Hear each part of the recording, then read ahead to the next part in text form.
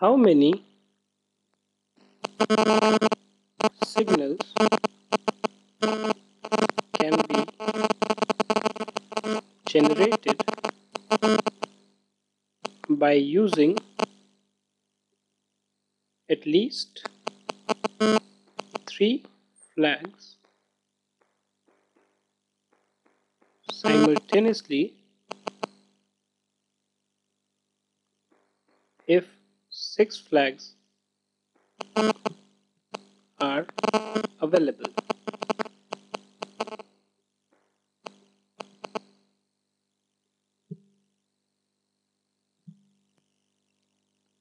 And what is happening here is that basically you are told that you have to generate okay and this signal will comprise of three flags. Is it three flags or it is more than three flags? Let's read the question once again.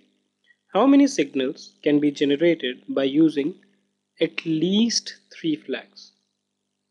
So it's not the case of three flags actually. You can have at least three flags which means you can have three. You can have four. You can have maybe five.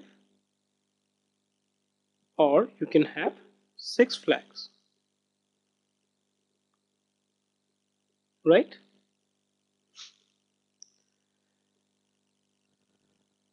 So basically you can fill it in when you have three four five or six flags right? Now you have to see if you were making a signal with only three flags then how many combinations are possible?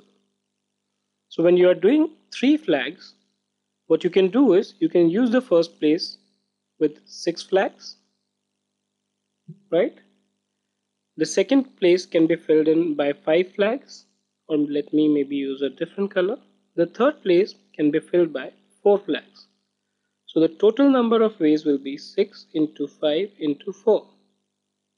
30 into 4 gives you 120. So let me put it here.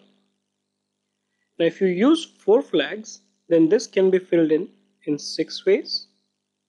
This in 5, 4, 3. So till here, then you multiply all of them.